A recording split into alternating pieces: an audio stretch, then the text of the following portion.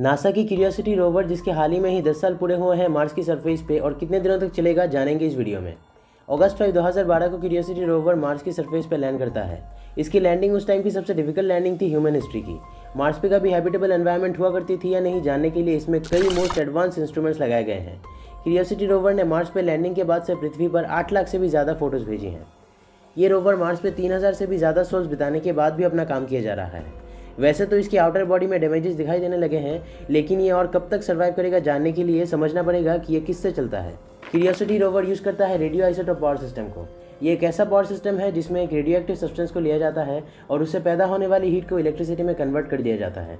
NASA के experts की माने तो उन्होंने कहा है कि क्यूरियोसिटी रोवर ने अपनी एक्सपेक्टेड लाइफ स्पेन जो कि एटलीस्ट वन ईयर थी, उससे कई ज़्यादा अच्छा परफॉर्म कर रहा है और अभी ये कब तक ऐसा चलता रहेगा, ये बताना मुश्किल है।